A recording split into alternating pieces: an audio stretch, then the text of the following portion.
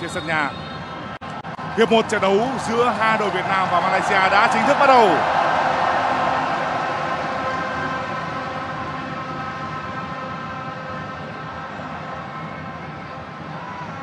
Trong số 3 trung vệ trên sân lúc này của đội tuyển Việt Nam, người đá ở chính giữa sẽ là Quế Ngọc Hải. Quế Ngọc Hải cũng đang là người đeo băng đội trưởng của đội bóng áo đỏ. Pha đưa bóng không tốt của cầu thủ Malaysia. Người đánh biên là Trọng Hoàng. Ở một số trận đấu tập huấn trước khi bước vào cuộc gặp gỡ với Malaysia, huấn luyện viên Park Hang-seo đã để cho Trọng Hoàng đá trong vai trò mũi tấn công bên phải như là một thử nghiệm.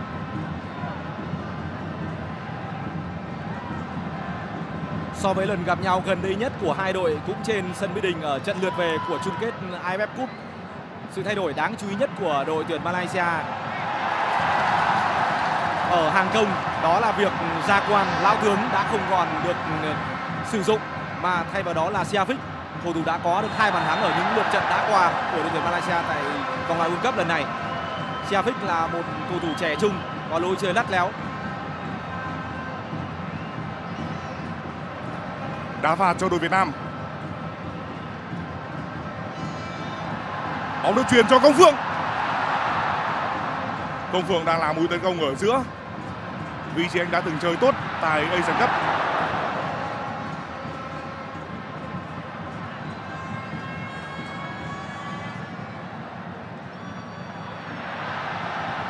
đường truyền là của Nusadon Talaha và tấn công biên của Malaysia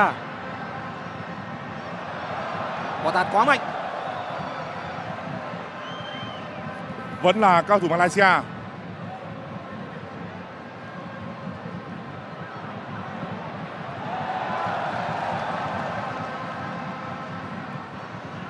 Cách chơi quen thuộc của Chang Chang Hoa là pressing tầm cao.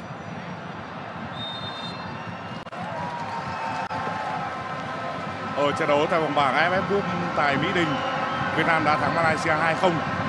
Một trận đấu mà luyện Park Sơ đã rất cao tay khi đưa Malaysia vào bẫy. Mặc dù đối phương đã chủ động pressing tầm cao. đó là trận đấu mà Công Phượng ghi bàn vào tỷ số từ phút thứ 11 sau một pha xử lý không trúng tầm bóng của anh Đức Tuấn Anh vừa bị phạm lỗi Tuấn Anh chơi kỹ thuật và tỉnh táo là vì có thể tạo ra những tình huống thoát pressing. Đá cặp với Tuấn Anh vẫn là Hùng Dũng, một cầu thủ bền bỉ và tốt cả công lẫn thủ.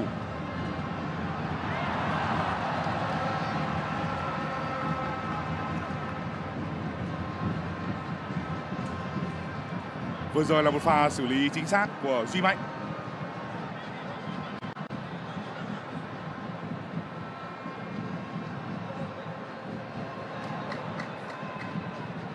Talaha, lão tướng 33 tuổi của Malaysia. Kobin Yong, Kobin Yong là hậu vệ cánh gốc Anh.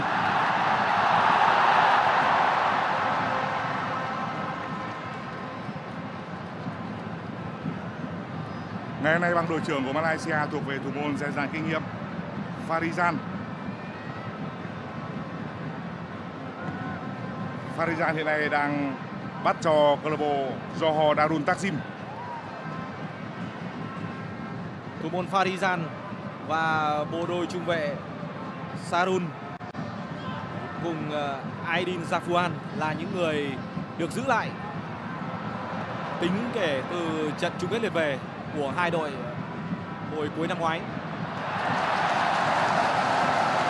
Pha cản phá tốt của Quế Ngọc Hải, đội trưởng đội tuyển Việt Nam.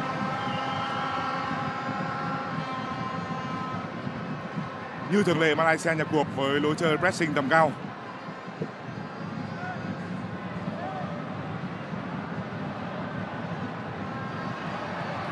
Pha xử lý của Tuấn Anh. Đây là Safawi. Trọng Hoàng. Quang Hải. Một cơ hội để phản công. Đường truyền đã bị chặn lại. Với bộ ba của thủ tấn công Quang Hải, Công Phượng và Văn Toàn ở phía trên, chúng ta chờ đợi những pha phối hợp ở đoạn ngắn. Nhưng với những gì mà đội tuyển Malaysia đã sẵn sàng ở những phút đầu tiên, khoảng cách giữa Quang Hải và hai đồng đội ở phía trên có vẻ là tương đối xa. và ở ít phút vừa rồi tôi đã nhìn thấy những động tác chỉ đạo của huấn luyện viên Park Hang-seo. Ông muốn công vượng hoạt động rộng hơn và đón chờ những đường truyền dài từ tuyến dưới. Đó là giải pháp vào thời điểm này. Trên hàng công của Malaysia người đá cao nhất vẫn là lão tướng Talaha.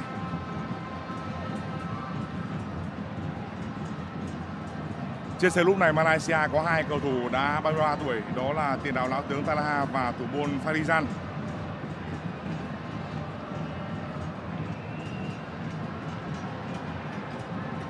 Đội xuất phát của Việt Nam ngày hôm nay có 3 cầu thủ trở về từ nước ngoài là Đặng Văn Lâm, Đoàn Văn Hậu và Công Phượng. Trọng Hoàng. Không phải, Trọng Hoàng là người đang di chuyển ở bên phải. Quang Hải. Quang Hải đang được yêu cầu hoạt động rất rộng. Và đây là một đợt mở điểm tấn công bên trái. Hoa dâng cao của đó Văn Hậu. Văn Toàn không có được chuyền nào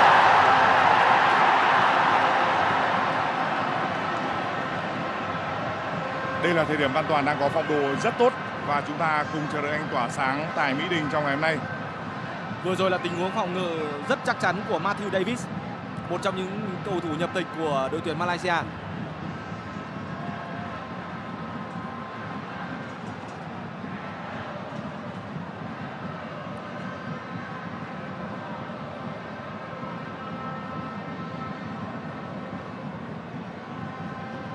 Trong Malaysia thì hai hậu vệ biên là Matthew David và Kobin Yong. Đường truyền của Công Phượng. Văn Đoàn không kịp pha phối hợp không thật sự đúng nhịp của Văn Toàn và Quang Hải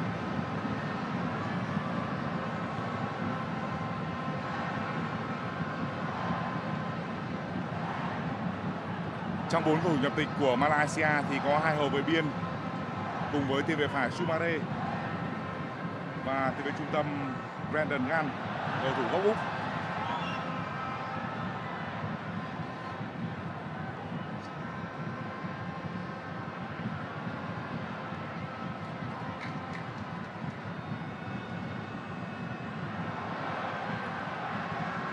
pha xử lý của Quang Hải Trọng Hoàng đây là Tuấn Anh. Rất bình tĩnh. Pha mở bóng của Quế Ngọc Hải. Văn Toàn đang di chuyển. Trước mặt là Matthew Davis.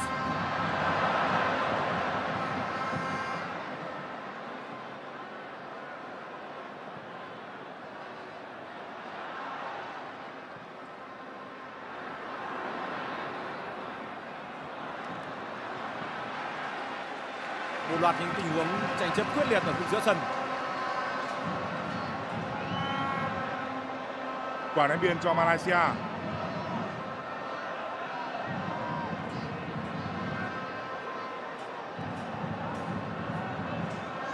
Người ném biên là hậu vệ gốc Úc, Matthew David. David đang chơi bên cánh phải. Còn Gobin Yong đá cánh trái.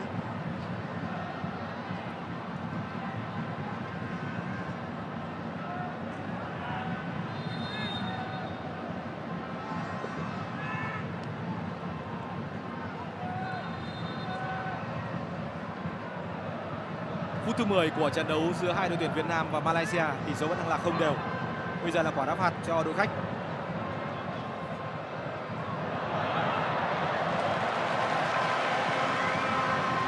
Đội Việt Nam đã ngăn chặn thành công pha trồng biên của Malaysia. Tuy nhiên Malaysia cũng được hưởng quả phạt góc.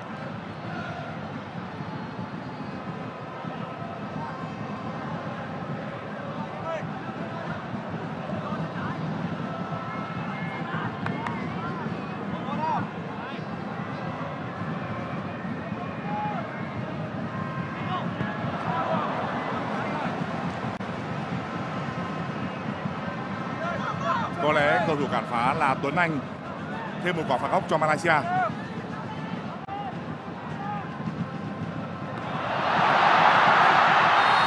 Hết sức nguy hiểm. Cuối cùng thì Văn Lâm đã bắt được bóng.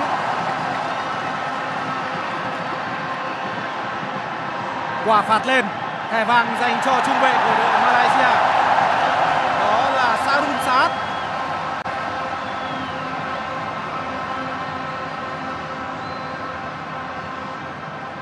Sarun vừa rồi đã phản ứng và lập tức phải nhận thẻ vàng của trọng tài người Iran, Bonia Difat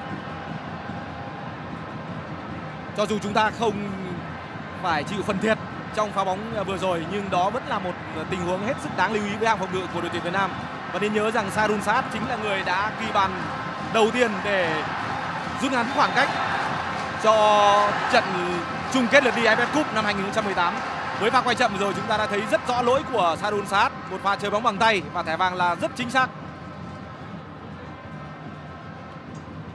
chúng ta cần phải rất cẩn thận với những pha đá phạt góc và đá phạt của số 11 Safawi Rashid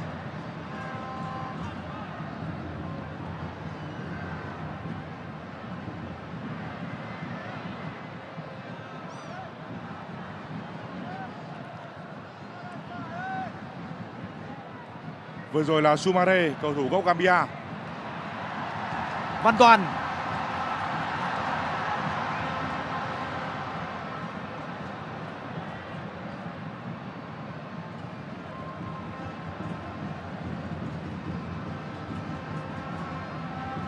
Trong những phút đầu tiên của trận đấu thì đội tuyển Việt Nam đã sử dụng những đường truyền ở tầm trung bình và dài để có thể tiếp cận khu 16 50 của đối phương nhưng khi đến gần với khu vực cấm địa của đội khách thì khả năng kết nối của các áo đỏ chưa phải ở mức độ cần thiết.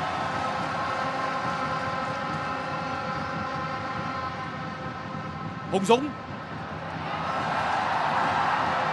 Đây là Trọng Hoàng.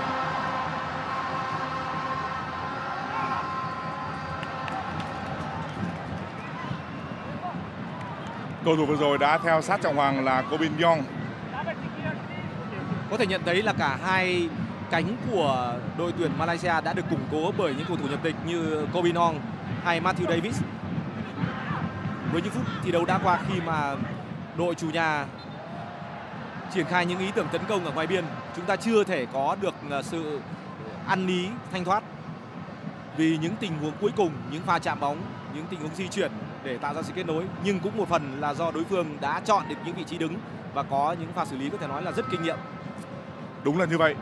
Ba trận đấu gặp Malaysia năm ngoái chúng ta thường xuyên gây khó khăn cho đội bạn với những pha khoét vào nách hàng phòng ngự. Vị trí cần phải phối hợp tốt giữa trung vệ và hậu vệ biên đến lúc này thì các hậu vệ biên và trung vệ Malaysia đã phối hợp với nhau khá nhịp nhàng.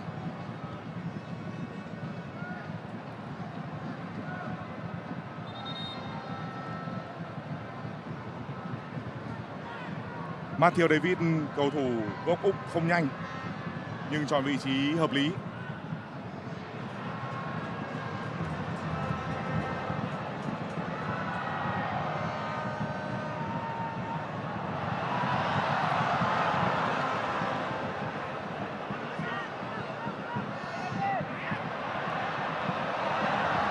Trận đấu vẫn tiếp tục. Đường chuyển nhanh lên.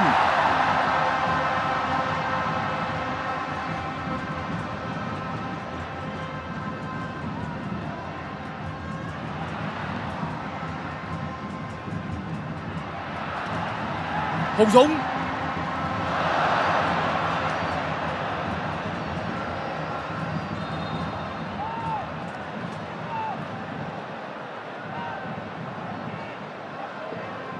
Sumare là cầu thủ xuất hiện từ giải bóng đá Đông Nam Á cuối năm ngoái. Anh luôn chơi rất tốt ở vị trí tiền vệ cánh phải. Cánh đối diện của Malaysia là Rashid, cũng chơi rất hay.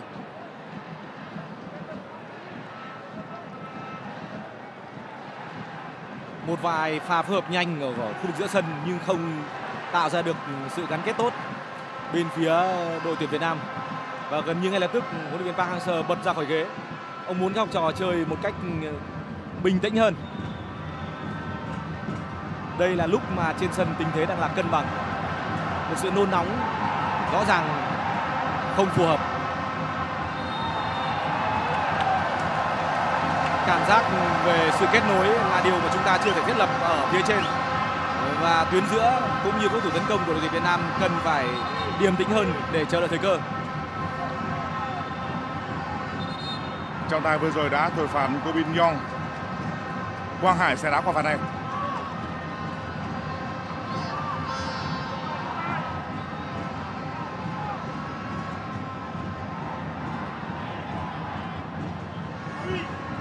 Với tình huống cố định này thì cả ba trung vệ của đội tuyển Việt Nam đều đã dâng cao.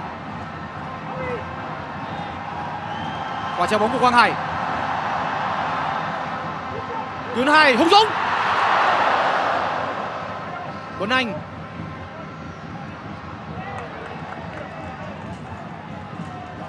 Ném biên cho đội Việt Nam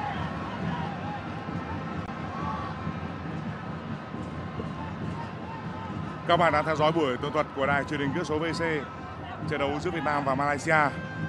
Đây là trận đấu ở bảng G của vòng loại World Cup khu vực châu Á. Rashid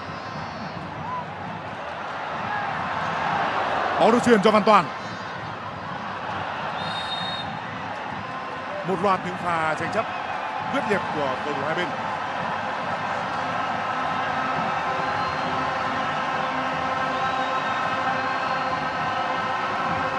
Trọng tài đã nhắc nhở Shafiq Ahmad của Malaysia.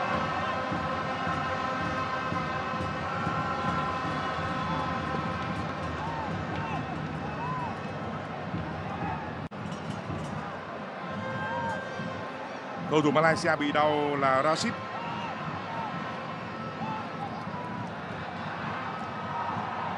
Quế Ngọc Hải là người đã ngăn chặn pha đi bóng của Rashid.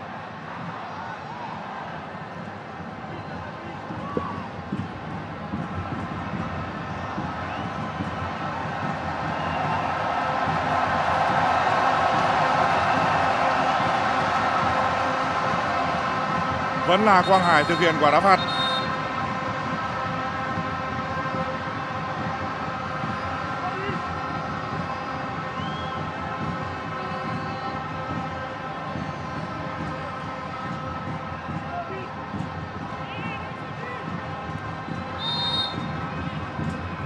Nhiều khả năng vẫn sẽ là một pha treo bóng của Quang Hải tình huống không khó đối với thủ môn Farizan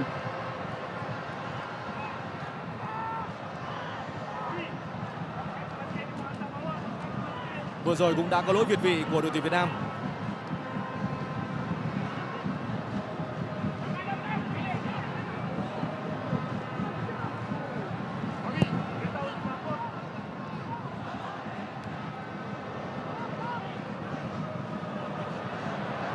Siafik Và can thiệp rất tỉnh táo của Bùi Tiến Dũng. Trọng Hoàng Duy Mạnh. Tuấn Anh lăn xả.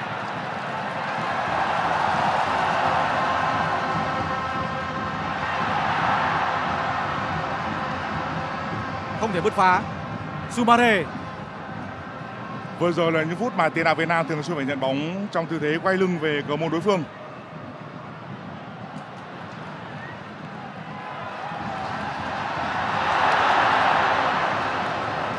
Công Phượng đã không thể thoát đi.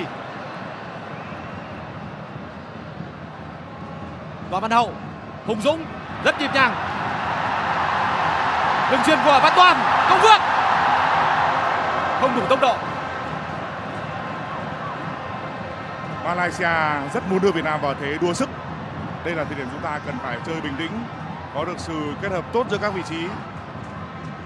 Phải cầm được bóng và phối với nhau. Đoàn Văn Hậu Văn Toàn Đối phương đã kịp thời phá bóng Tiếp theo sẽ là quả phạt góc bên phía cánh trái cho đội tuyển Việt Nam Phút thứ 20 của trận đấu và những phút đã qua khung thành của cả hai bên đều vẫn bình yên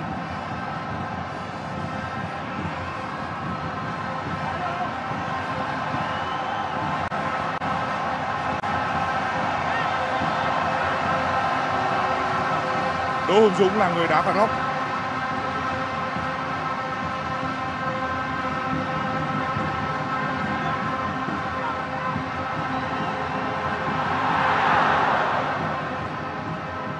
Tuấn Anh. Trọng Hoàng. Tình huống việt vị.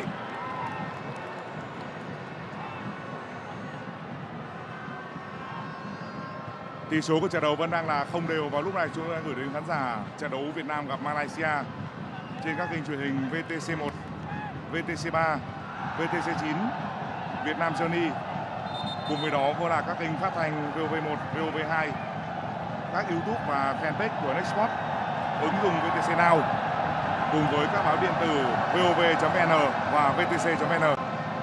Ở một loạt những tình huống cố định gần đây của đội tuyển Việt Nam, hàng thủ của Malaysia đã phòng ngự tốt.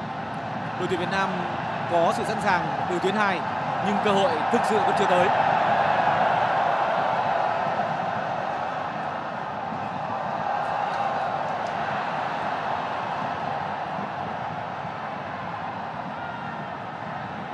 Quang Hải, Tuấn Anh những cố gắng của Tuấn Anh ở những phút vừa qua là rất đáng ghi nhận quãng thời gian vừa qua là không hề dễ dàng chút nào với các tiền vệ của đội chủ nhà đối phương luôn chơi áp sát trọng hoàng đã có lối việt vị của công phượng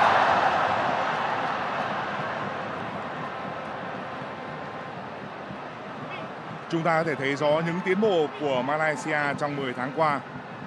Các vị trí gò dường như chín hơn và lối chơi cũng kín kẽ hơn.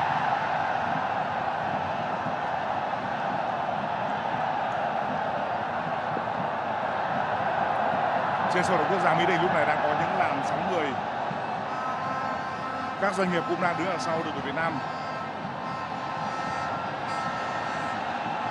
Nhà tài trợ đứng dụng gọi xe B Group sẽ trao thưởng 100 triệu đồng cho cầu thủ Việt Nam ghi bàn thắng đầu tiên ghi bàn mở tỷ số của trận đấu ngày hôm nay. Trong sáng ngày hôm nay thì tập đoàn Danco cũng đã trao cho đội tuyển 200 triệu đồng. Nếu thắng ngày hôm nay, đội tuyển sẽ có tổng số tiền thưởng là 500 triệu. Nếu hòa là 300 triệu tiền thưởng.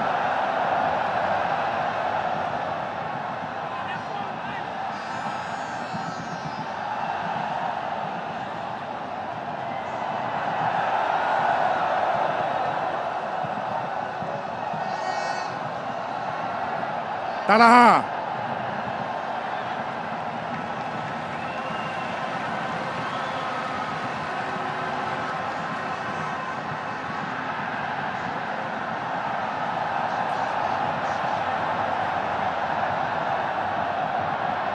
cổ động viên vẫn đang ủng hộ rất nhiệt tình với hy vọng đội Việt Nam sẽ chơi chặt chẽ hơn và có sự đánh thức bản lĩnh rõ ràng hơn ở những phút tới.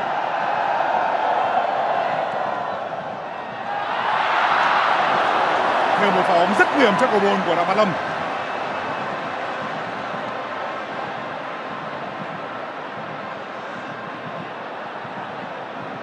thêm một sự cảnh báo cho những gì cần phải gọi là tập trung ở hàng thủ của đội tuyển Việt Nam. Đặng Văn Lâm đón sai vị trí.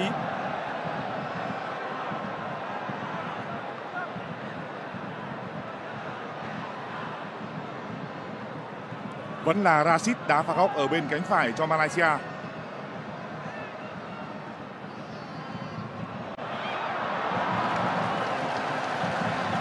Bóng đá không chạm ai. Những pha đá phạt của Rashid cũng như phạt góc luôn có độ vòng. Lực bóng rất mạnh. ở bảng G của vòng loại World Cup 2022 khu vực châu Á. Ngoài trận đấu giữa hai đội tuyển Việt Nam và Malaysia, trong ngày thi đấu hôm nay muộn hơn 3 tiếng đồng hồ sẽ là cuộc đấu sức giữa đội tuyển các tiểu vương quốc Ả Rập Thống Nhất gặp Indonesia. Sau hai lượt trận đá đấu thì đội tuyển Thái Lan đang là đội tạm dẫn đầu bảng lúc này với 4 điểm sau một trận thắng và một trận hòa. Các tiểu vương quốc Ả Rập Thống Nhất mới đấu một trận, nhưng tạm thời đứng ở vị trí thứ hai. Nhờ có hiệu số bàn thắng bại tốt hơn so với Malaysia, đội cũng đã có được 3 điểm. Đứng cuối bảng đang là Indonesia, đội đã thua cả hai lượt trận khi chưa có được điểm nào.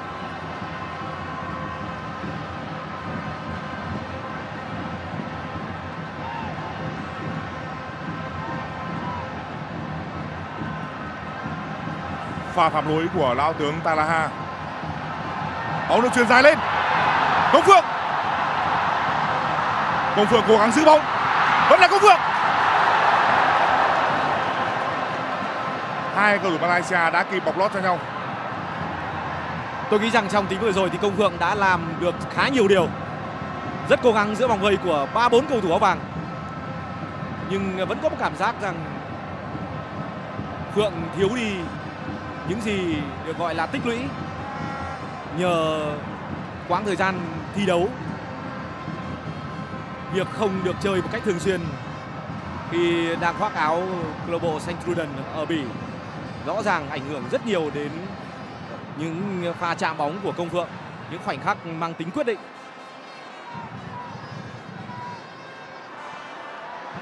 Coi! một thoáng thiếu tập trung của hàng thủ Malaysia nhưng ờ, cơ hội ờ, đủ lớn vẫn không đến với công phượng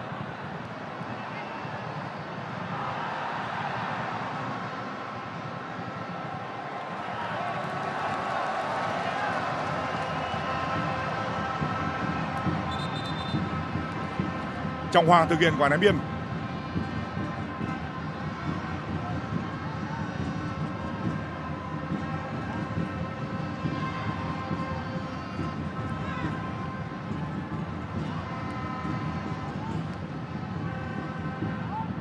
Talaha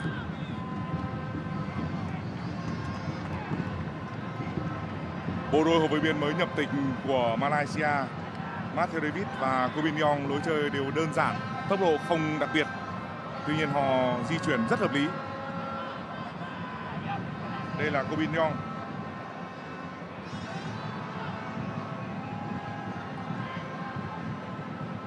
Sumare vừa đảo sang bên phía cánh trái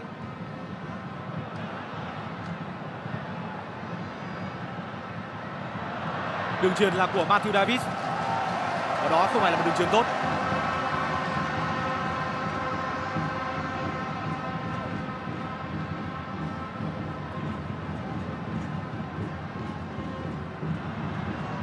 Công Phượng. Không phải đó là đường truyền của Văn Toàn.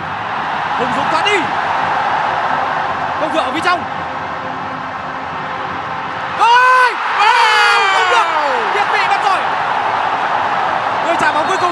Phải Hai cầu thủ của câu lạc bộ Hà Nội đã tìm thấy nhau trong pha phối vừa rồi, nhưng đáng tiếc là Quang Hải xuống sớm hơn so với đường truyền của Hùng Dũng. Rất tiếc là trợ lý trọng tài người Iran Aline Zadian đã căng cờ. Chúng ta cùng xem lại.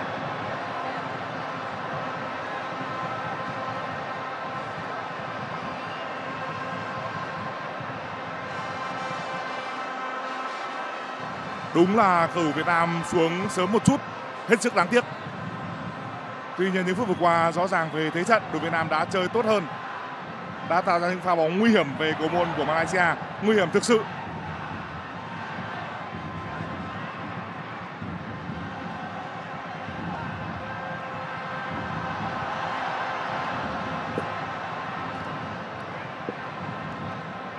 cầu thủ Việt Nam bắt đầu có được sự kết dính cần thiết, tránh xa vào những cuộc đua sức và thể lực.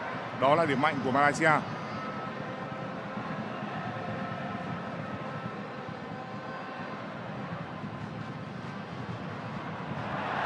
Văn Toàn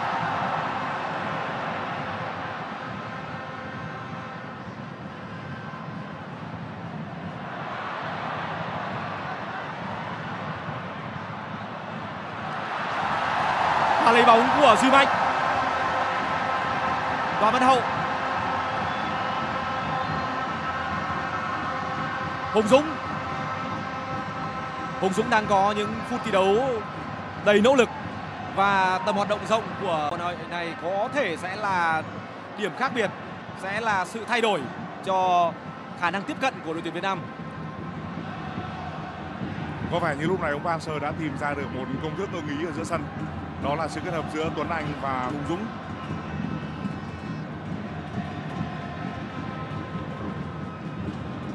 Phải nói rằng ông Park Hang-seo đã tìm ra một năng lực mới của Tuấn Anh. Vì trước đây chúng ta đều nghĩ rằng Tuấn Anh phù hợp hơn với vai trò của người đá lùi phía sau tiền đạo cao nhất. Nhưng bây giờ thì Tuấn Anh hoàn toàn có thể chơi như một cầu thủ giữ trọng trách phòng ngự kết nối ở khu giữa sân phía trước khu vực của các trung vệ. Đúng là như vậy Tuấn Anh hiện nay đang chơi theo kiểu tiền vệ mỏ neo trong quãng thời gian dưỡng thương thì Tuấn Anh đã rất nỗ lực, đã vượt qua tất cả và trở lại thành công với một lối chơi không chỉ bởi chất nghệ sĩ mà anh còn có thể như một đấu sĩ lúc cần thiết.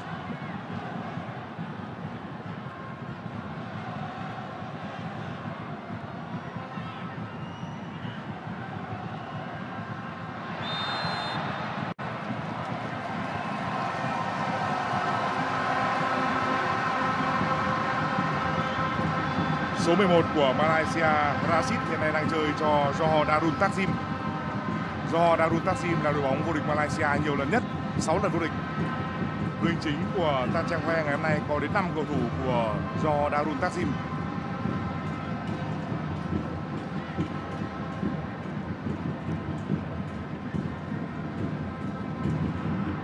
ba lần gặp nhau gần nhất của hai đội đều trong khuôn khổ AFF Cup và trong cả ba trận đấu đó thì đội tuyển Malaysia đều bị thủng lưới ở nửa đầu của hiệp 1. Điều đó đã không tiếp diễn ở trận đấu của hai đội tại vòng loại World Cup 2022. Và xem ra đó là một sự tiến bộ của ông Tan Chang Hoe cùng các học trò. Rõ ràng là đội tuyển Malaysia đã chơi cân đối hơn, kín kẽ hơn nhờ những bổ sung mới về mặt nhân sự cũng như những điều chỉnh về mặt chiến thuật.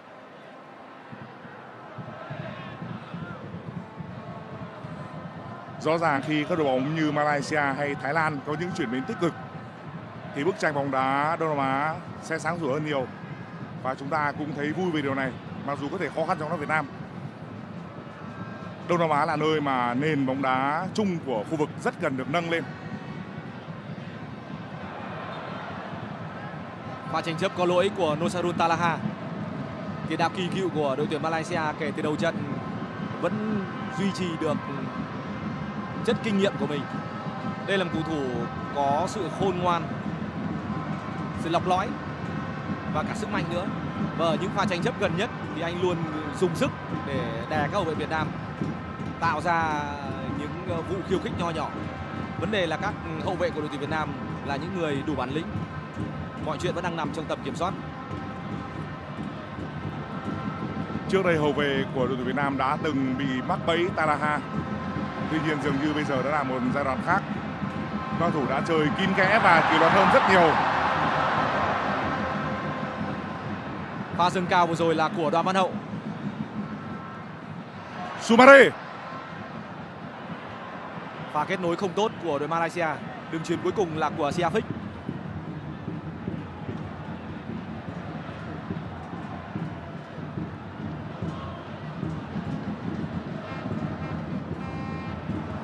Văn Toàn. Vẫn là Văn Toàn. Tiếp tục là đội tuyển Việt Nam, Trọng Hoàng.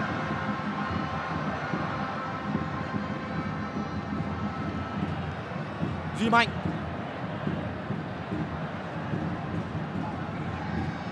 Tuấn Anh. Đường truyền hỏng của Tiến Dũng, nhưng vẫn là đội tuyển Việt Nam. Quang Hải Tuấn Anh. Trọng Hoàng. Hùng Dũng. Đưa bóng vào rất nhanh. Quang Hải. Tuấn Anh. Và bắt đầu. Không được. Thay vậy một đường chuyền ngang. Và bàn hậu lại trả ngược bóng. Nhưng trong tình huống vừa rồi thì không có bất cứ một đồng đội nào dâng lên từ tuyến hai. Dường như đội tuyển Việt Nam đã bắt đầu được ừ, kết nối với những nhịp điệu có thể nói là hợp lý hơn và tốc độ tấn công, tốc độ áp sát đã nhanh hơn.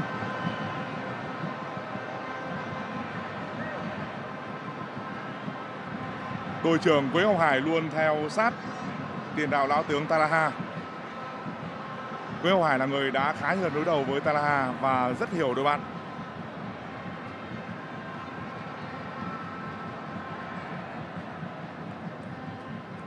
Tại bảng G của vòng loại châu Á thì đài truyền hình cước số VC sẽ gửi đến khán giả 7 trên 8 trận đấu của đội tuyển Việt Nam.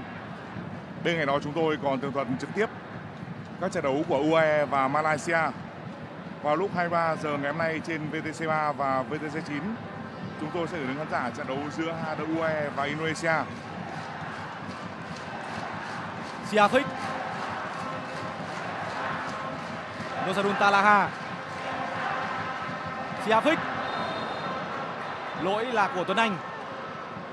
Nhưng trước đó là lỗi của Trọng Hoàng và thẻ vàng vừa được rút ra dành cho số 8 của đội tuyển Việt Nam.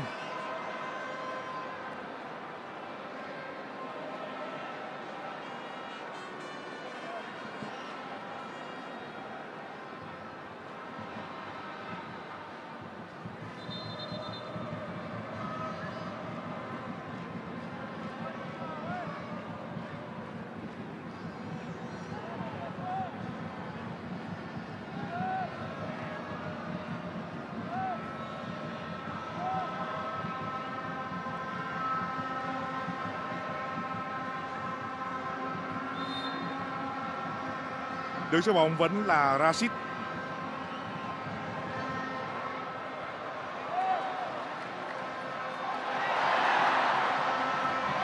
Rất đẹp cú đánh gót của Văn Toàn, Quang Hải. Tuấn Anh mở bóng cho Công Phượng.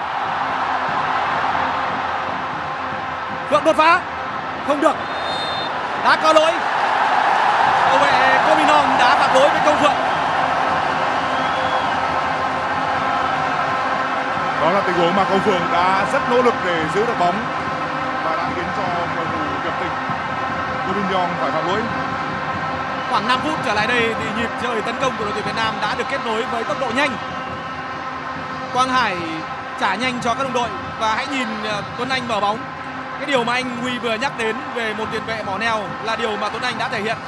Không chỉ là người à, thu dọn ở khu vực giữa sân, còn có thể à, vất những đường truyền ở liệu đó có phải là Andrea Pirlo của Việt Nam hay không? Chúng ta hãy chờ xem và đó là một ừ, dự cảm hoàn toàn có cơ sở. Hình mẫu như Pirlo là điều mà ông Park Hang-seo muốn xây dựng cho Tuấn Anh. Ông đã trao đổi chi tiết với tôi về chuyện này. Tất nhiên còn tùy theo tình hình, đối thủ cũng như là phong độ của đội tuyển trong từng thời điểm.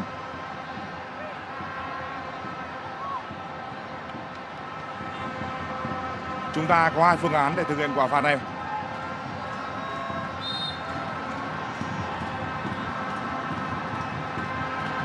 Cú sút của Quang Hải không qua được hàng rào. Tuấn Anh vẫn không qua được cầu thủ đối phương. Bóng vẫn trong cuộc. Đoàn văn hậu. Hùng dũng. Tiếp tục là đội tuyển việt nam, duy mạnh, trọng hoàng. Đường truyền hơi non.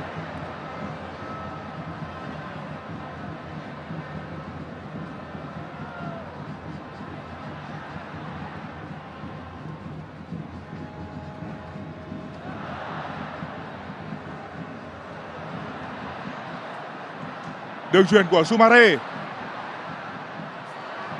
Rashid. Các rõ vàng đã không thể liên lạc được với nhau. Một pha xử lý khiến chúng ta cảm giác như Safawi, Rashid gần như chỉ chơi được bằng chân trái. Rashid Safawi là người đã gỡ hòa trong trận chung kết lượt đi của AFF Cup năm 2018 bằng một quả đá phạt với cái chân trái sở trường rất mạnh mẽ vào lưới của Đặng Văn Lâm. Vâng, đó là thời điểm mà chúng ta hay thua những tình huống cố định.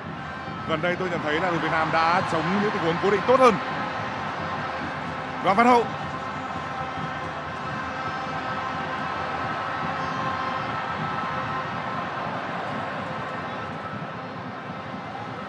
Matthew David vẫn đang theo Văn Hậu có thể nói là rất chặt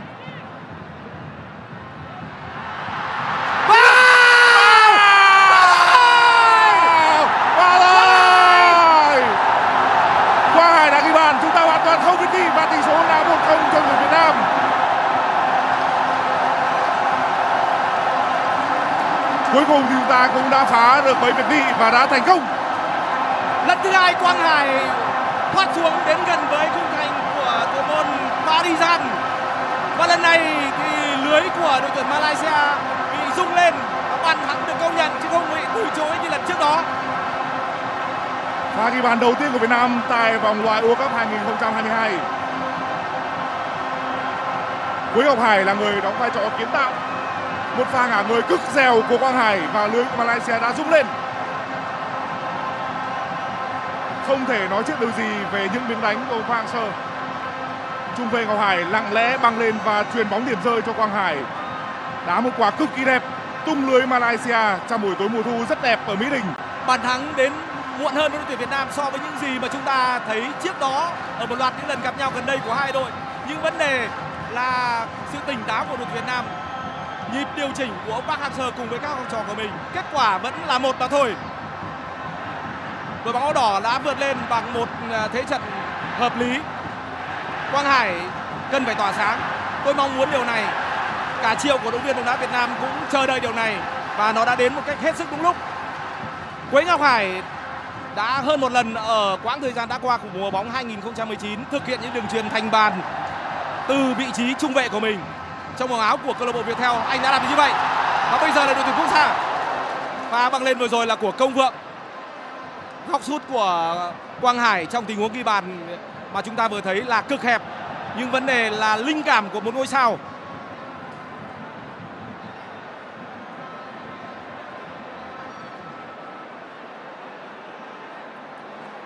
Sẽ không quá lời nếu nói rằng pha ngả người vừa rồi của Quang Hải là một bàn thắng đẳng cấp thế giới rất ít cầu thủ quốc tế có thể làm được chuyện này ngay cả trên các sân cỏ châu Âu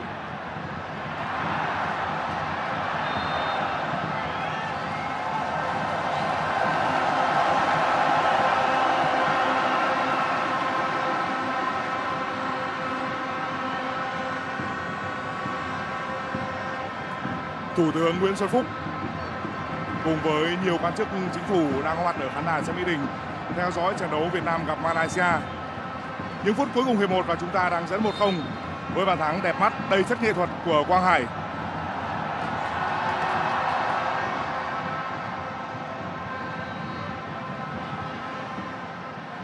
Gobin Bin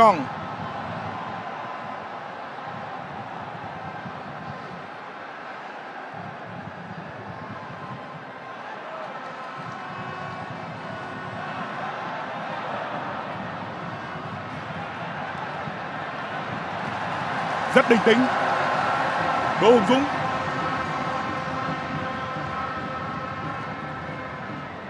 Quế Ngọc Hải. Bùi Tiến Dũng. Trong ba trung vệ thì Tiến Dũng đá lệch bên trái, Ngọc Hải ở giữa và Duy Mạnh ở bên phải.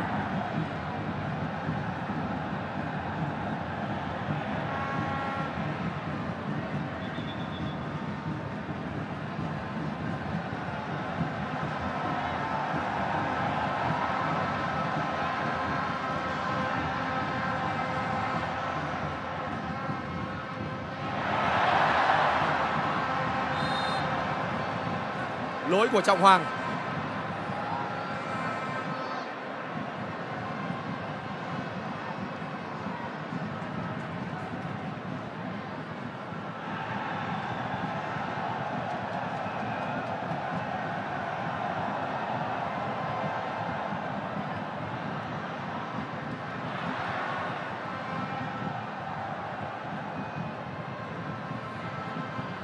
Sumare luôn rất khỏe. Đến lúc này thì Bùi Tiến Dũng đã phối hợp với đoàn hậu khống chế Sumare khá tốt.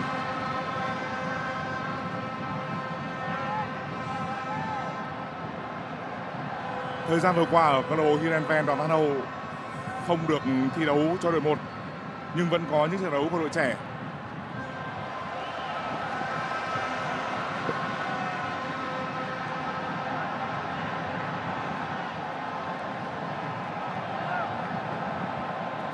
phút thi đấu chính thức cuối cùng hiệp 1 của trận đấu.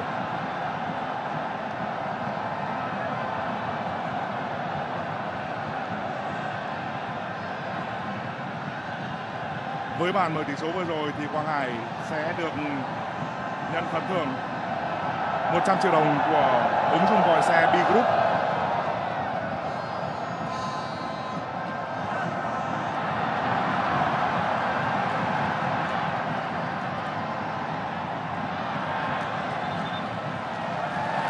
bình tĩnh của Công Vượng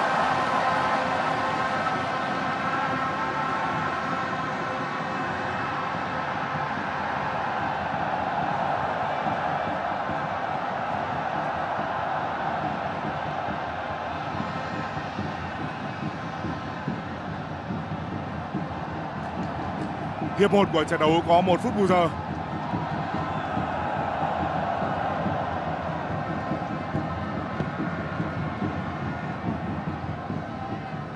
Phút thi đấu đã qua của của đỏ sức này đã ghi nhận sự tiến bộ của đội tuyển Malaysia dưới bàn tay của huấn luyện viên Tan Chang Huê. Vậy thì vị thế của nhà vô địch Việt Nam ở khu vực Đông Nam Á cũng đã được khẳng định. Chúng ta chơi điềm tĩnh, chơi ờ, chắc chắn và biết cất tiếng nói đúng lúc với sức nặng của những đợt lên bóng.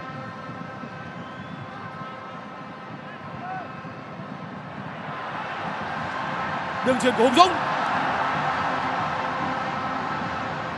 Văn Toàn đã không thể vượt qua được sự can thiệp của Sarun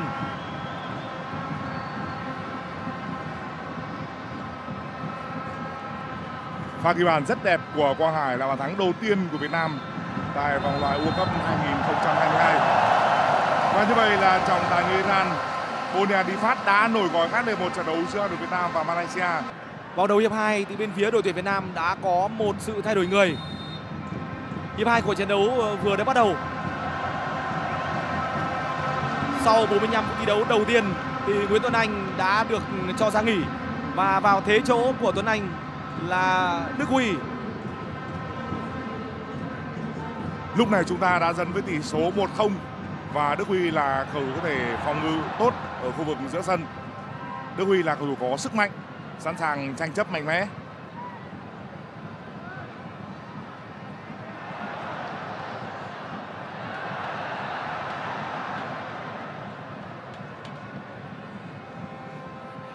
Đến lúc này Malaysia chưa thay người.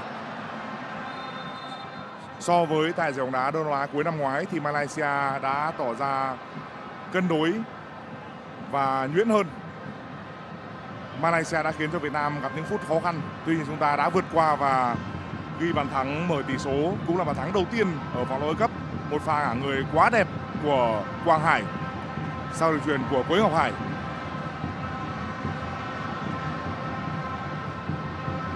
Trong thế trận tấn công của đội tuyển Malaysia ở hiệp 1 thì cũng đã có một vài khoảnh khắc chúng ta cảm thấy không thật sự yên tâm với cách chơi phòng ngự của Đặng Văn Lâm và các đồng đội.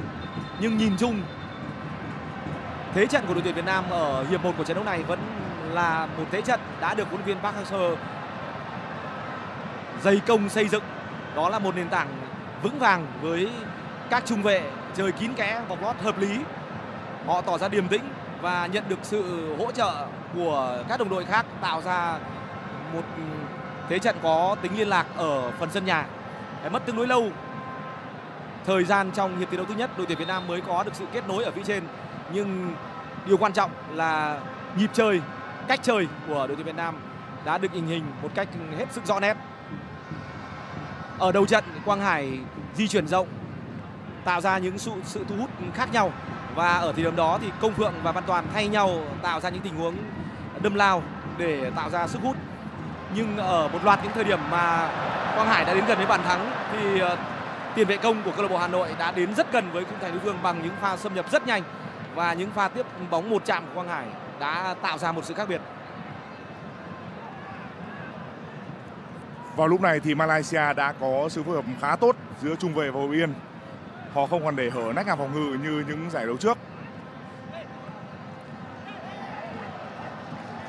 Cầu thủ vừa chạm bóng là Sumare. Trong hiệp 1 của trận đấu, Bùi Tiến Dũng và Đoàn Văn Hậu đã khống chế tốt Sumare ở bên cánh phải của Malaysia.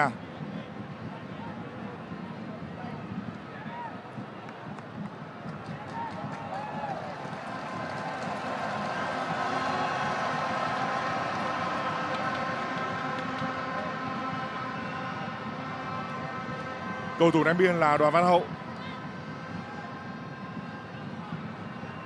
Công Phượng.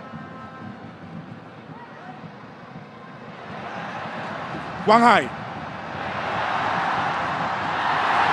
Văn Toàn, tốc độ của Văn Toàn rất nhanh.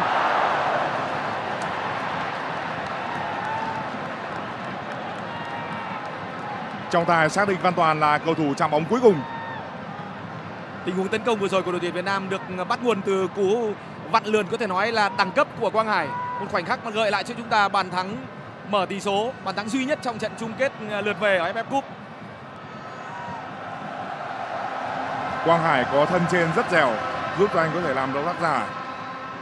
thực hiện những pha ngả người và cả những quả bỏ bóng rất điệu nghệ. Và lúc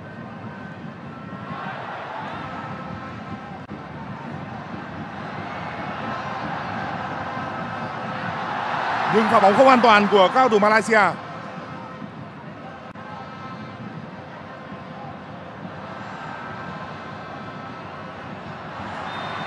Đội Việt Nam vẫn đang chơi bình tĩnh và có được sự uyển chuyển cần thiết. vừa có lỗi của Đức Huy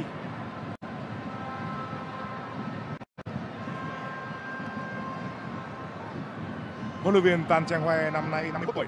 Khi còn là cầu thủ ông từng là một tiền vệ chơi cho các đội Kedah, Penang và Kelantan. Tan Chang Hoe đã dẫn dắt các đội trẻ của Malaysia từ U17, U19, U23 cho đến khi làm đội tuyển cách đây 2 năm.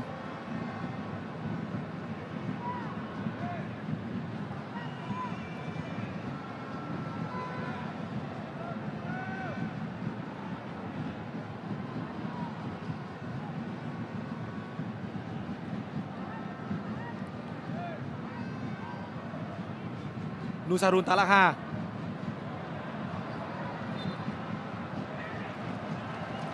lỗi chơi bóng bằng tay của số 9 bên phía đội bóng hoàng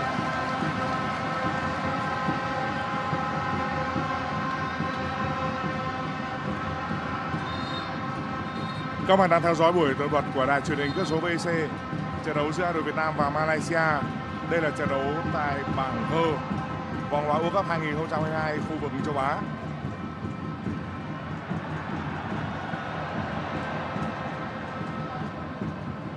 Cơ thủ Việt Nam vẫn đang dẫn với tỷ số 1-0. Quang Hải mở tỷ số ở cuối hiệp 1 với pha ngả người rất đẹp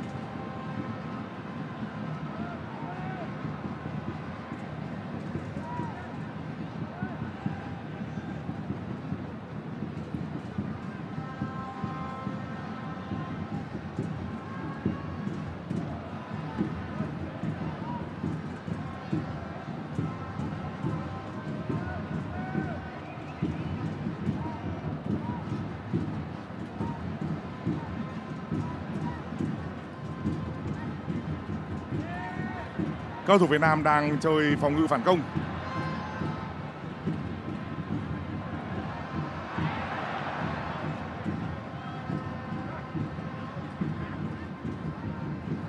Sumare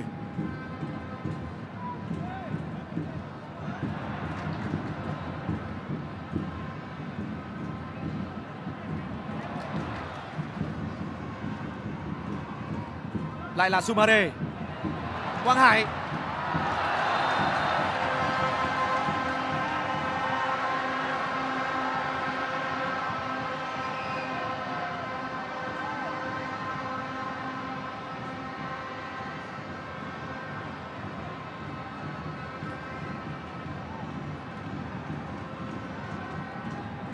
Theo quan sát của chúng tôi thì Malaysia chuẩn bị thay người. Lão tướng Talaha sẽ rời sân. Trước khi rời sân thì Talaha là người đá cao nhất trang công của Malaysia. Phía sau anh là cao thủ Brandon Gan, Halim Sari và Shafiq Ahmad. Vào sân thay người là số 19 Akhia Rashid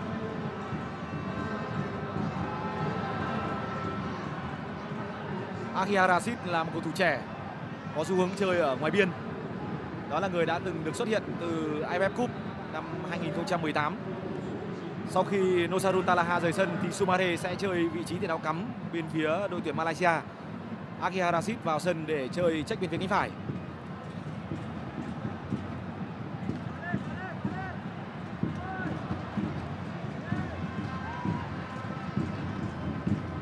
Sức mạnh tấn công của đội tuyển Malaysia chưa được thể hiện một cách ờ, đầy đủ. Tính cơ động của các ờ, mũi nhọn bên phía đội bóng áo vàng đang còn có những hạn chế.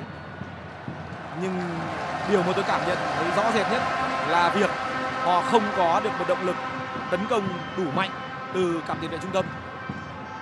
Đó là sự thay đổi về mặt nhân sự tương đối rõ ờ, so với thời AFF Cup nhưng những gì mà những cầu thủ như Brendan Gan đem lại cho đội bóng áo vàng kể từ đầu trận nó không thật sự là đầy đủ, không thật sự là một sự cải thiện đúng nghĩa về mặt chất lượng cho những đợt phản động phát động tấn công.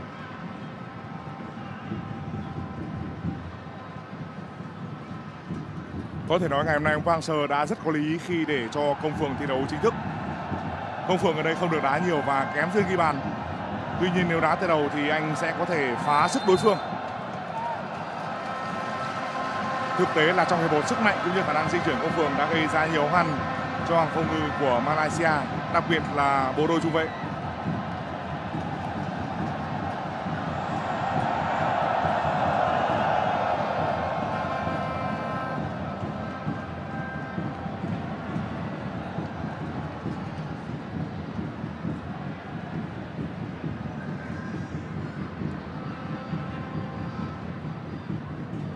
có Vendangan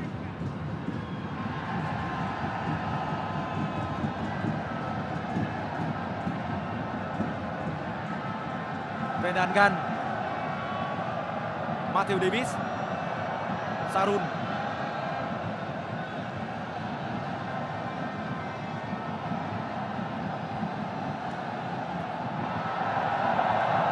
Bộ đôi trung vệ của Malaysia lúc này vẫn là Sarun và Zafwan Adin.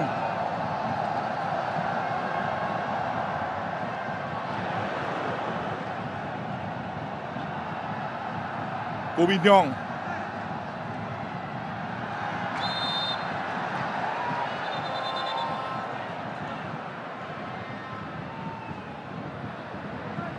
thẻ vàng thứ ba trong trận đấu.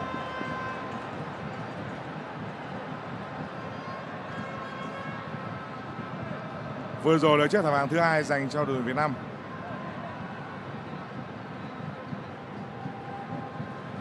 Trong hiệp 1 mỗi bên đã phải nhận một thẻ vàng.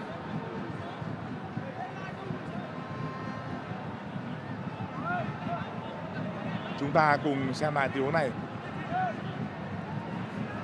pha phạm lỗi và phải nhận thẻ vàng của Đoàn Văn Hậu.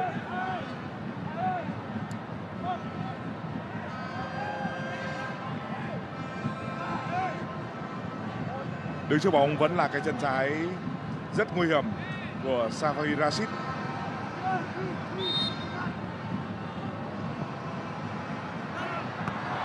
Văn Lâm đã đẩy bóng ra.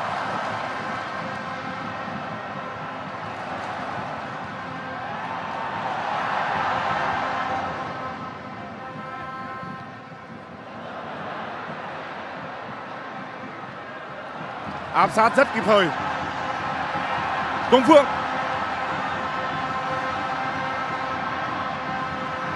Vẫn là công phượng. Rất tiếc là đã không thể có được một sự liên lạc giữa công phượng và đồng đội. Phút thứ 60 của trận đấu tỷ số vẫn đang là 1-0 công phượng vẫn đang chơi đầy cố gắng, nhưng ờ, phải nói là đang rất khó khăn để tìm được cảm giác tốt nhất của mình.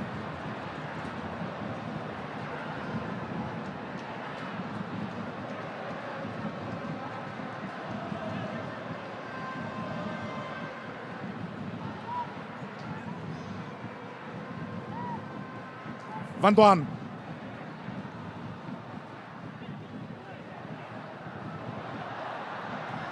Đường truyền quá sâu. Đó là pha chuyền bóng của Siafik Ahmad.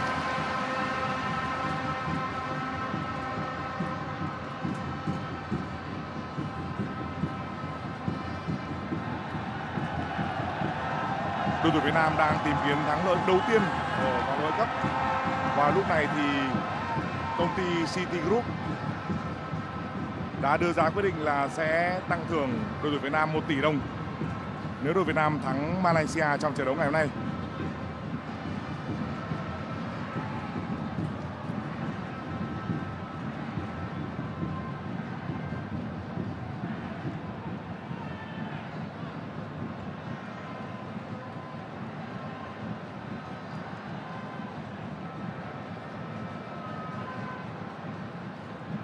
Kobe Nhong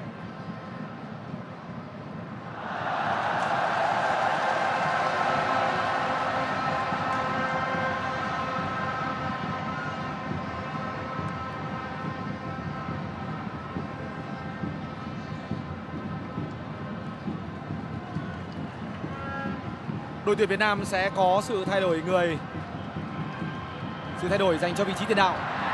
Anh Đức sẽ vào sân và bây giờ là Văn Toàn. Không có lỗi của hậu vệ đối phương.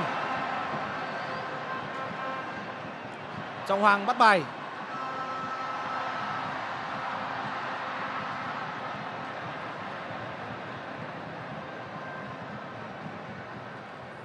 Rashid.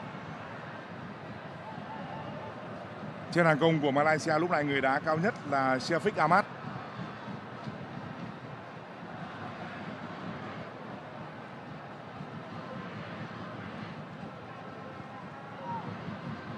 Đoàn Văn Hậu.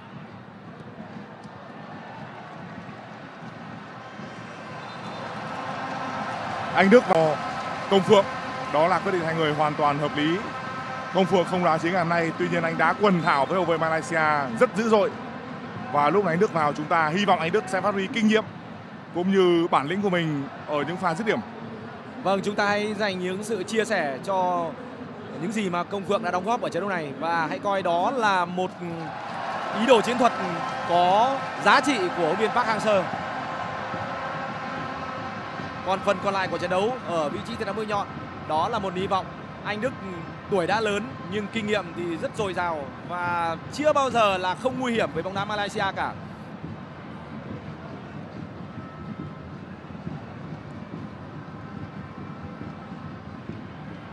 Ở trận đấu tại vòng bảng AFF Cup, anh Đức đã nâng tỷ số trận đấu lên 2-0. Lúc này chúng ta cùng chờ đợi anh Đức vào sân và ghi bàn giống như anh đã làm ở lượt về chung kết cũng như là trận đấu hai đội gặp nhau tại vòng bảng.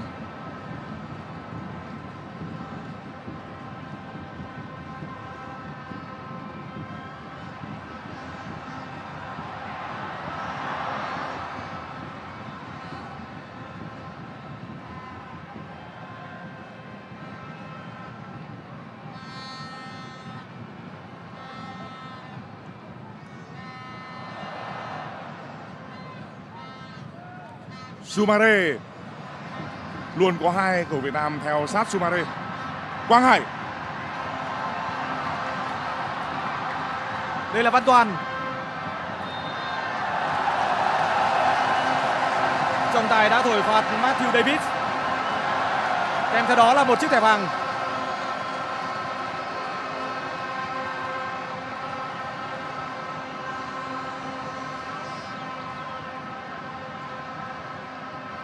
Đến lúc này mỗi bên đã phải nhận hai thẻ vàng.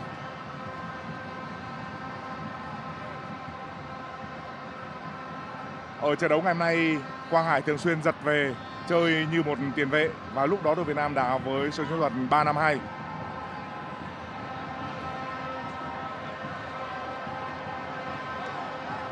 hai mươi phút đầu tiên của hiệp 2 đã diễn ra với một tình thế mà đội tuyển Việt Nam có phần nhường sân, thậm chí nhường bóng cho đối phương.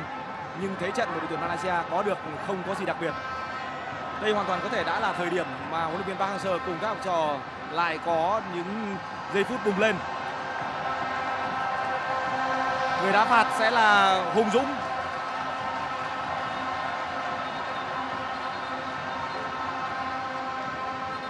Hùng Dũng hoàn toàn có thể đá thẳng vào cầu môn của thủ môn Farizan. Anh là cầu thủ sút bóng tốt và đây là thời điểm đội Việt Nam tâm lý đang thuận lợi.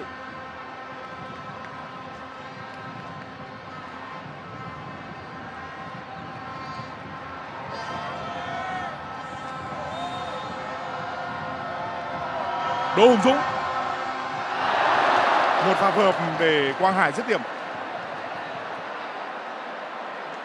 Hơi thiếu một chút chính xác. Ở câu lạc bộ Hà Nội thì Quang Hải thường xuyên có những pha bắt vô lê sau những quả phạt của đồng đội. Ý tưởng là không tồi chút nào. Đường truyền của Hùng Dũng hơi cao hơn so với yêu cầu. Thiếu chút nữa thì Quang Hải đã có thể kết thúc bằng một tình huống chẳng khác gì ở môn cầu mây.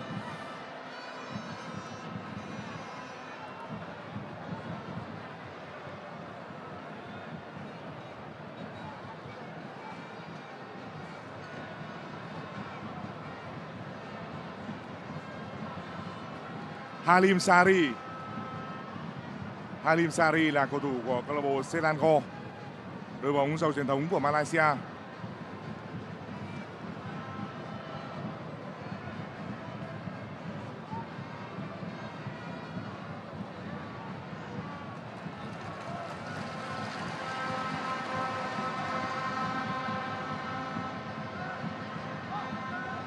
Sumare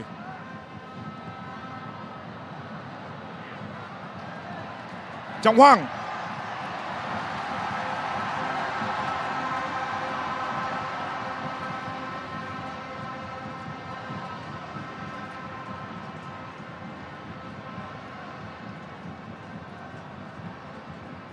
Vẫn là một cái chơi chặt chẽ rất kỷ luật của huấn luyện viên Park Hang-seo. Đường chuyển ngang bất cẩn, hết sức nguy hiểm. Rất may là Bùi Tiến Dũng đã kịp xoạc bóng.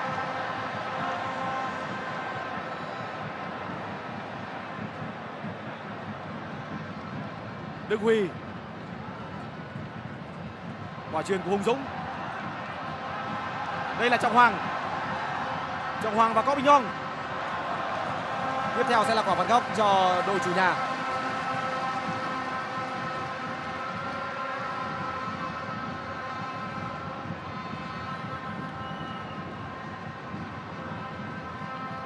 Xét về tổng thể cho đến lúc này thì độ chững chạc, đĩnh đạc trên tất cả các tuyến vẫn thuộc về đội tuyển Việt Nam nhiều hơn và thế dẫn trước của đội tuyển Việt Nam là hoàn toàn xứng đáng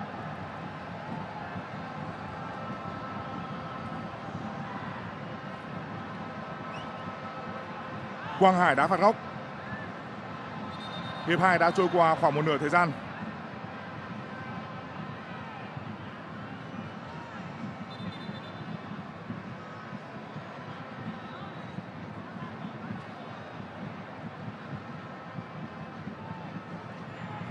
Cầu thủ sinh ra lớn lên tại Úc, Brandon Gan vừa rồi đã có sự phàn nàn với trọng tài chính người Iran Bonia Difat.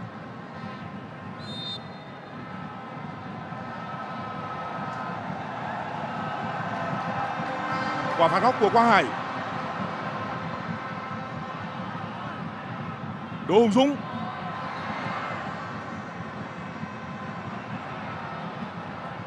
Và Văn Hậu Hùng Dũng và chơi bóng một chạm, rất hay. Bùi Tiến Dũng bị phạm lỗi. Thêm một quả phạt góc.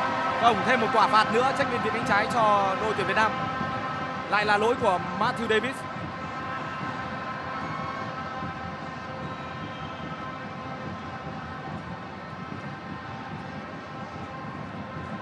Đây là lỗi của Brandon Gan chứ không phải Matthew David.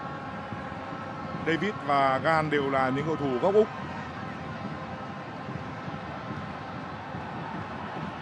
Vẫn là Đỗ Hùng Dũng thực hiện quả đá phạt gần cột cửa góc phía bên trái. Hy vọng lần này chúng ta sẽ làm tốt hơn. liệu có một pha dứt điểm tuyến hai nữa hay không khi mà Quang Hải đang đứng ờ, tương đối xa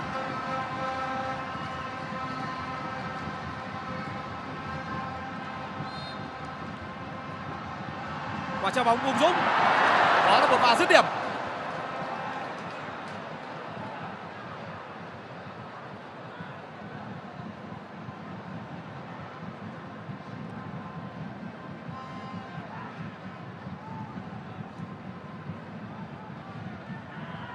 Đỗ Hùng Dũng là cầu thủ thi đấu có thể có thời điểm khá thầm lặng.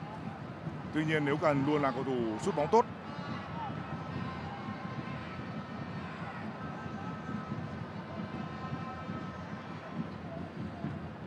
Malaysia đang chiếm 50% thời gian kiểm soát bóng. Brandon Gan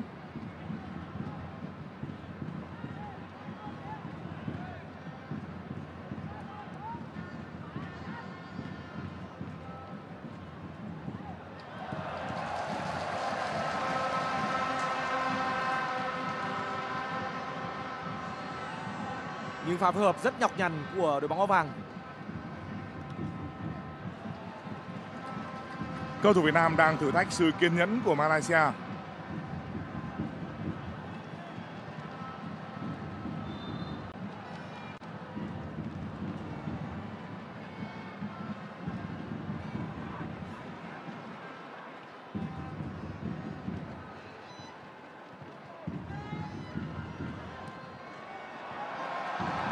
Đường truyền vào là của đoàn văn hậu. Văn toàn giữ được bóng rồi. Hùng dũng. Cầm bóng đột phá, đứng truyền vào. Không được. Vẫn còn tuyến này đức huy. Không thể dứt điểm. Trọng hoàng, quang hải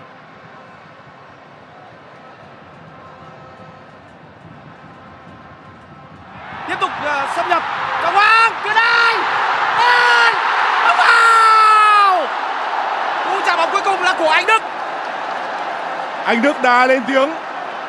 Lão tướng anh Đức suýt nữa nâng tỷ số trận đấu lên 2-0 điều mà anh đã làm ở trận đấu tại vòng bảng cách đây gần một năm. Không có bàn thắng cho đội tuyển Việt Nam ở đợt tấn công vừa rồi, nhưng một lần nữa chúng ta cần phải ghi nhận sự đĩnh đạc của đội bóng áo đỏ. Không ghi bàn ở tình huống trước, chúng ta bình tĩnh tổ chức lại và tiếp tục có những pha xâm nhập để rồi có một tình huống lợi hại hơn.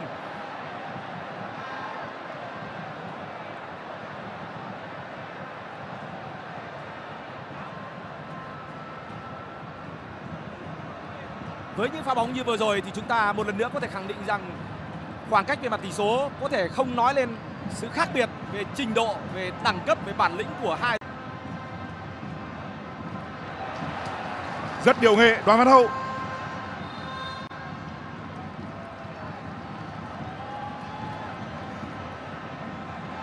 Đội Việt Nam vẫn có thể thay thêm một cầu thủ.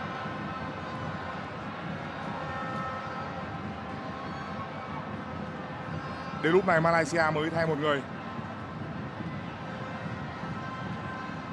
Bùi Tiến Dũng đá phạt.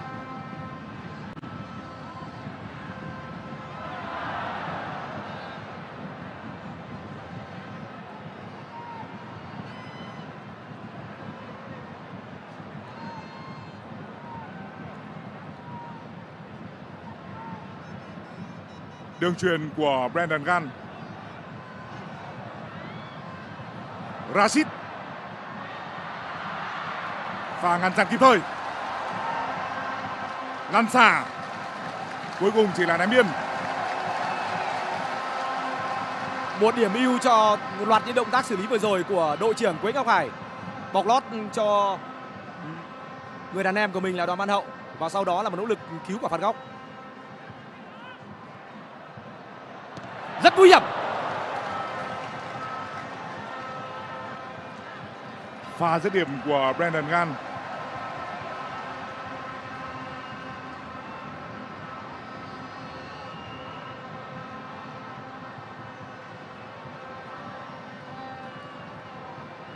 Đây là trận đấu mà theo chân Malaysia sang Việt Nam có hơn 400 cổ động viên. VFF đã để dành gần 1.000 ghế khán đài cho cổ động viên Malaysia.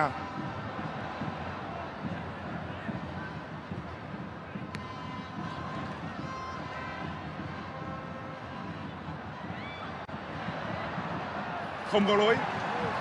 Pha đi bóng của Mohamed Akia.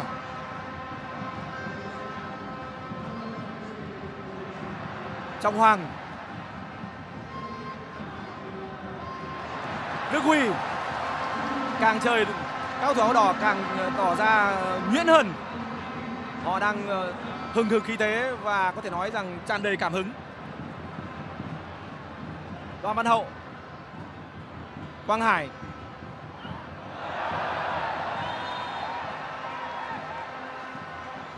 Quả phạt cho đội tuyển Việt Nam.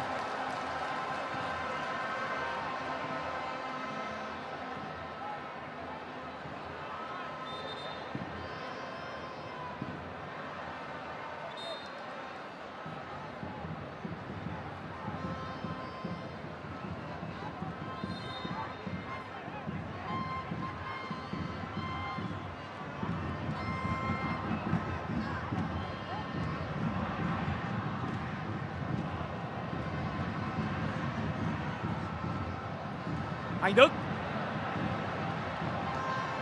Quang Hải Văn Toàn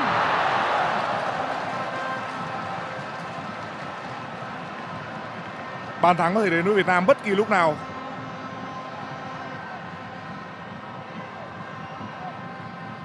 Cầu thủ Việt Nam có nhiều phương án để tiếp cận cầu môn của thủ môn Farizan. ở góc quan sát của chúng tôi trên khán đài của sân Mỹ Đình thì mình có thể thấy hết được sự sắc bén mà đường truyền của Quang Hải vừa tạo ra cho Văn Toàn. Với những tình huống xử lý như thế thì rõ ràng cặp trung vệ của Malaysia sẽ cần phải chơi hết sức tỉnh táo thì mới có thể ngăn chặn.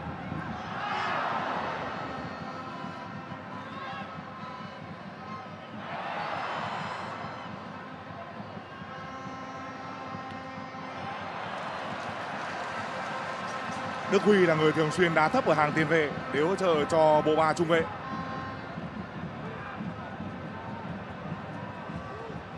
Quang Hải vừa rồi đã lùi về rất sâu.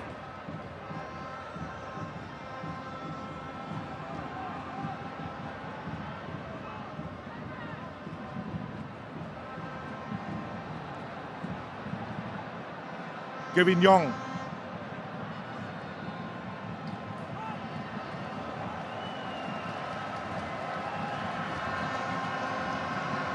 cầu thủ bị đau của đội tuyển Malaysia là trung vệ số 7 Aydin Zafwan.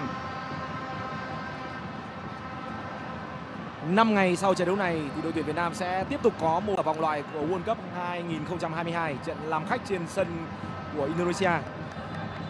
Cũng ở lượt đấu mà chúng ta đang gặp Malaysia thì Indonesia sẽ phải làm khách trên sân của các tiểu vương quốc Ả Rập thống nhất. Đội bóng tạm coi là mạnh nhất của bảng đấu này. Không loại trừ khả năng Indonesia sẽ thua thêm một trận đấu nữa. Và nếu như đội tuyển Việt Nam giành thắng lợi trước Malaysia mọi chuyện hoàn toàn có thể sẽ diễn ra theo một chiều hướng thuận lợi hơn ở trận đấu tiếp theo, dù chúng ta sẽ phải làm khách. Chúng tôi sẽ nhắc lại là vào lúc 23 giờ tối ngày hôm nay, trên các kênh VTC3 và VTC9 khán giả có thể theo dõi cuộc đối đầu giữa UAE và Indonesia. Đài truyền hình cước số VC gửi đến khán giả 7 trên 8 trận đấu của Việt Nam tại vòng loại. Cùng với đó là các trận đấu của UE và Malaysia.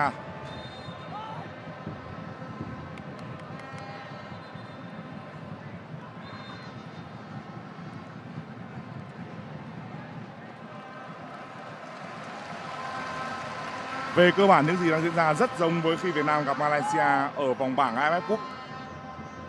Mặc dù lúc này Malaysia đã vững vàng hơn. Đội tuyển Việt Nam có những khó khăn, tuy nhiên lực lượng lúc này cũng đã có thêm kinh nghiệm và lực lượng lúc này dày hơn.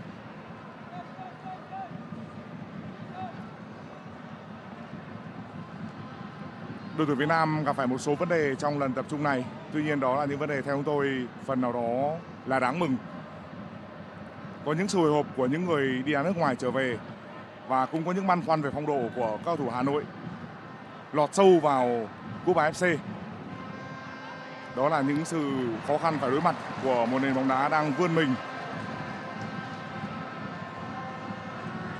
Tôi nghĩ rằng những khó khăn là điều vẫn thường xuất hiện ở đâu đó trong bất cứ một lĩnh vực nào.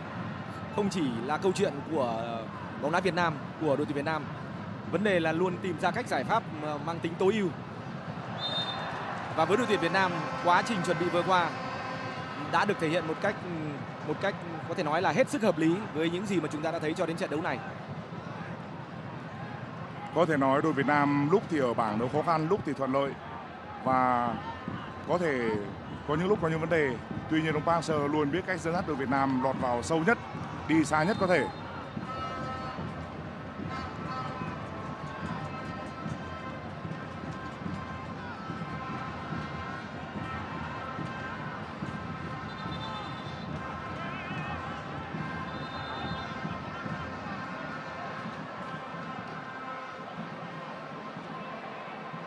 Đoàn Văn Hậu đang bị chuột rút.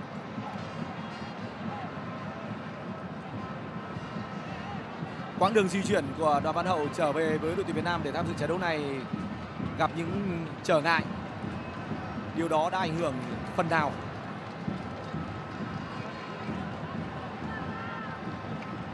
Đoàn Văn Hậu đã có một trận đấu đầy nỗ lực.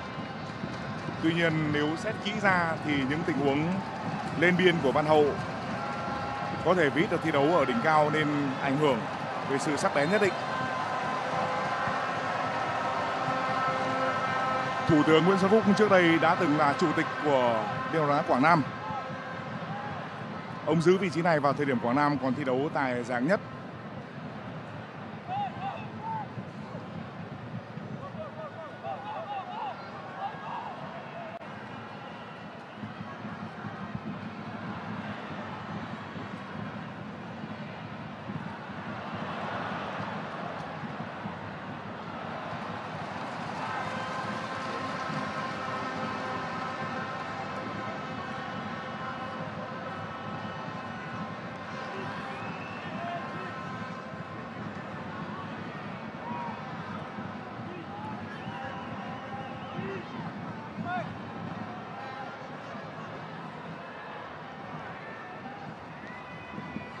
Quả phạt góc cho Malaysia.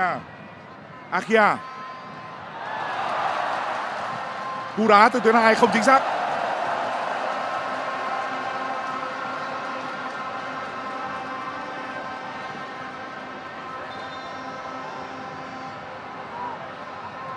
Cầu thủ Malaysia đang bị đau là Halim Sari.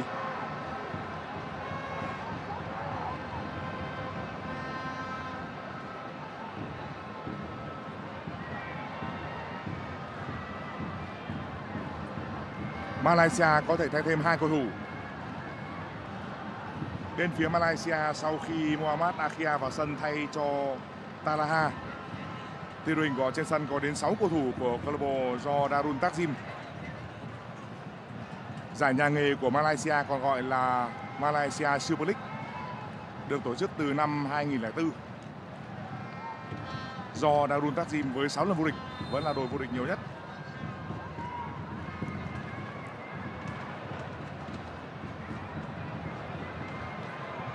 Trong tháng 10 thì đội tuyển Malaysia chỉ có một lượt trận duy nhất tại vòng loại World Cup. Lượt trận tiếp theo của họ sẽ diễn ra trong tháng 11 và họ sẽ là chủ nhà trong chuyến làm khách của đội tuyển Thái Lan.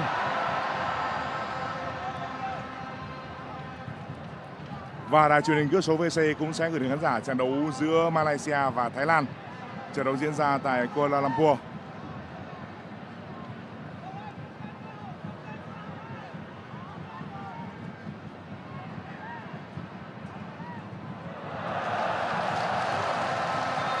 Có vẻ như Malaysia đang lực bất tòng tâm.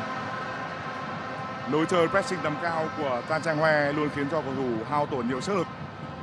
Đội Việt Nam chơi kín kẽ và phân phối sức cũng tốt.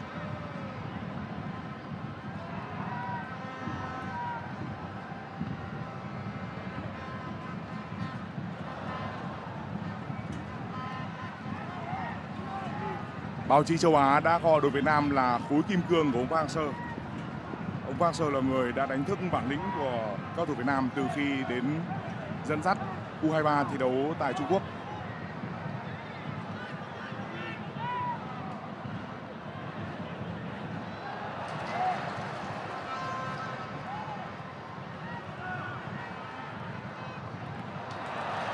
Cú phá bóng của Đoàn Văn Hậu.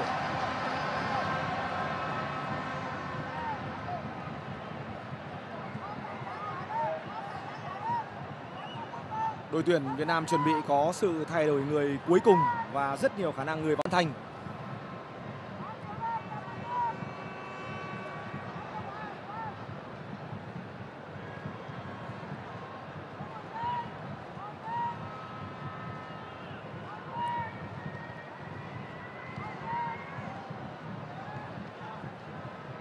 Sarun. Matthew Davis.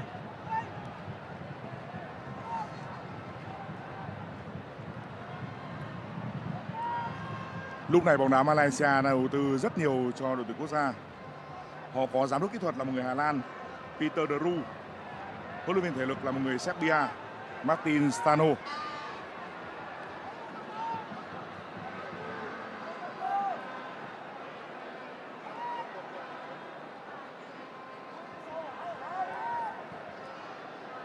rất nhiều khả năng là ông Park Hang-seo sẽ rút ra ngoài một cầu thủ tấn công để tăng cường hàng phòng ngự.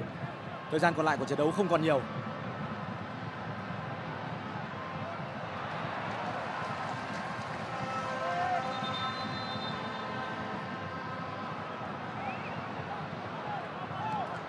Cầu thủ rời sân là Văn Toàn. Vào sân là Việt Phong.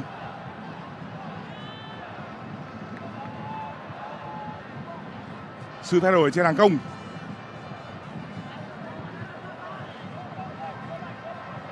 Tuy nhiên cũng phải chờ đợi xem mức độ bị đau thế nào.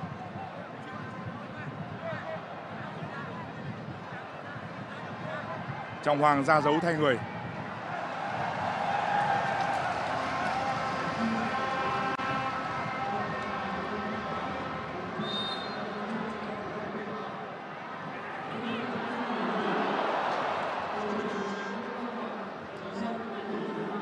Matthew Davis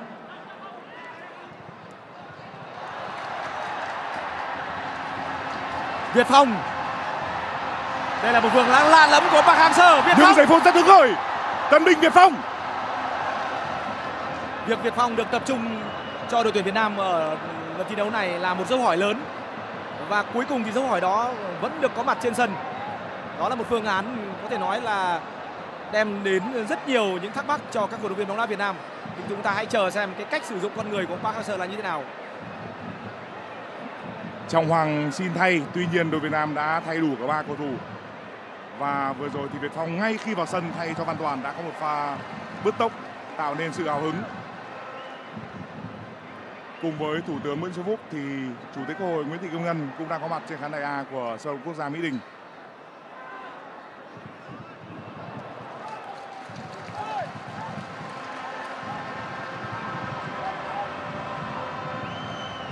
Matthew Davis hậu vệ cánh của đội tuyển Malaysia đang bị chuột rút. Và người đang hỗ trợ cho Matthew Davis lại là Quang Hải. Một trận đấu tương đối căng thẳng. Cả hai đều đã vắt tương đối nhiều sức, nhưng thế chủ động vẫn nghiêng về phía đội tuyển Việt Nam.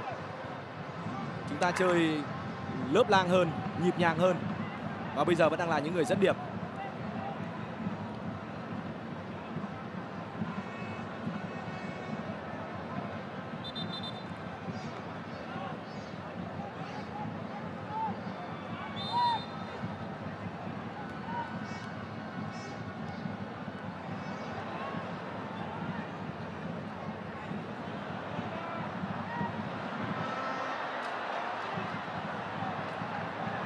Sumare những pha quay bắt hợp lý của cầu thủ áo đỏ. Kobinong không thể dứt điểm chuẩn xác. Pha chạm đầu vừa rồi là của Brendan Can. Đức Huy. Và Văn Hậu.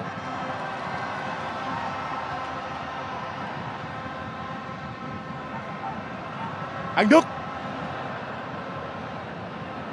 Anh Đức vào sân và đã làm tốt vai trò của mình. Luôn luôn gây được áp lực với bộ đôi trung vệ đối phương. Phút thứ 90 khoảng cách một bàn vẫn đang thuộc về đội tuyển Việt Nam.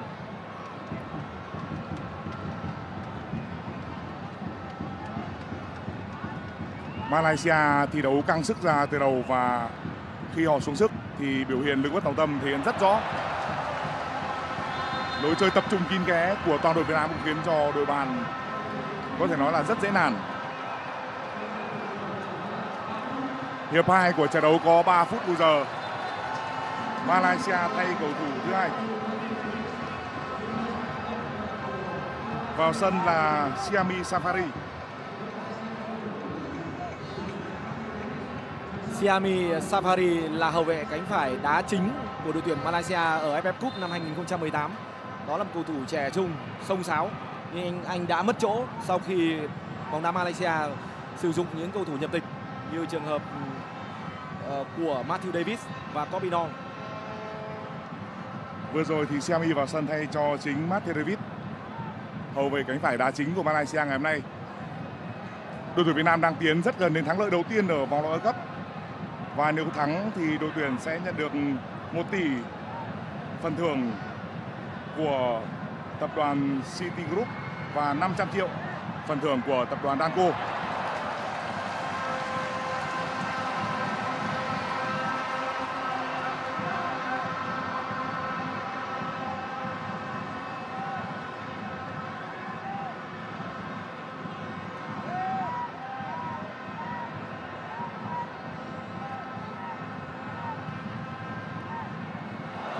Đường truyền không chính xác.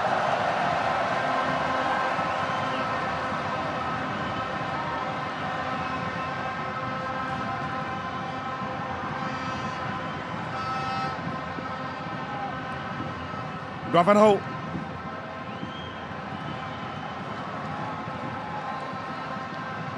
Anh Đức.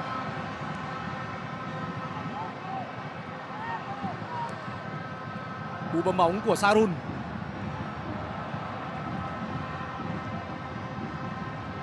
Sumare. Quế Ngọc Hải chơi rất hay trong trận đấu này. Cobinon Safawi Việt Phong. Sarun.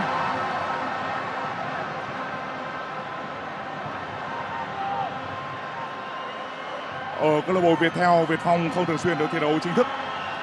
Việc ông Park Seo gọi lên đội tuyển ít nhiều tạo ra những sự ngỡ ngàng. Việt Phong đã có vinh dự thi đấu những phút cuối cùng. Không có gì nguy hiểm cho khung thành của Đặng Văn Lâm thời gian gần như không còn cho những nỗ lực của bóng đá Malaysia. Những giây cuối cùng của trận đấu. Trận đấu diễn ra vào ngày mùng 10 tháng 10 kỷ niệm 65 năm giải phóng thủ đô. Gần như chắc chắn là một chiến thắng của đội Việt Nam. Và như vậy là thời gian của trận đấu đã hết rồi. Trọng tài người Iran Bonia Difat đã nổi tiếng gọi mãn cuộc. Đội tuyển Việt Nam đã có thắng lợi đầu tiên ở vòng loại World Cup 2022 một trận đấu mà mọi chuyện đều đi theo những tính toán của huấn luyện Park Hang-seo mặc dù có thời điểm Malaysia đã vùng lên hết sức mạnh